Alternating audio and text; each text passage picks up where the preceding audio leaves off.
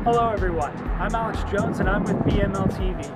BML TV is an unbiased investigative media group that affects change by bringing to the world stage the stories of underdeveloped communities within our region and around the world.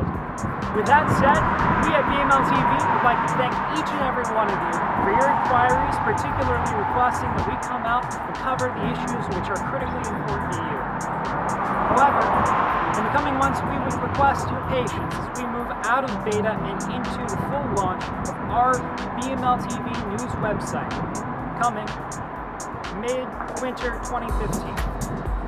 We encourage you to continue emailing us at speakup at bmltv.com.